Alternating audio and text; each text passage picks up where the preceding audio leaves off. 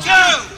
Don! Are you people insane? That's a box of sharp glass! What sort of idiot is going to step up onto a box like this and then jump down into a bed of glass like that? The Renaissance Fair is many things a craft fair, a historical reenactment, even a performance art fair.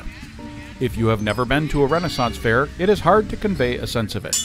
Entertainment is at the very large part of the fair, from musicians to stage acts to even magicians and street performances. There is a myriad of things to see at the fair.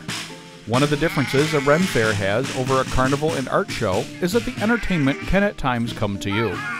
Street actors and musicians wander the fair interacting with the people visiting, playing a musical tune, telling a funny story, or even acting like a clown are just some of the entertainment that can happen in the fair that will come up to you or pop up in the most unexpected places. There's also skilled trades like sword fighting and jousting are also very common at many fairs.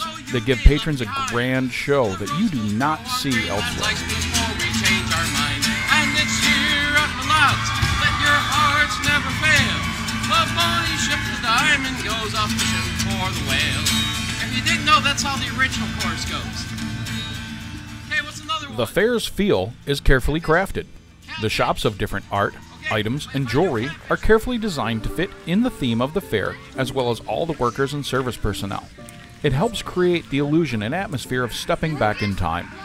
Many fairs will put down hay on the walkways and paths to help aid this effect, as well as having street entertainment reenacting a scripted show or a small skit of a period policeman arresting a thief, a loud lover's quarrel, or even what seems to be a mud covered merchant selling his pickles, loudly bellowing, Pickles for sale, while pushing a cart.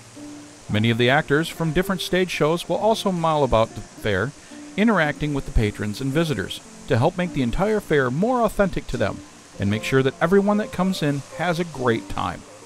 You can even find minstrels wandering the streets of the fair playing a song. You'll also find many vendors selling period artwork, period jewelry, and other items within the fair. All of them in a booth that looks like it's right out of the Renaissance time as well. The Renaissance Fair has a lot to offer those visiting.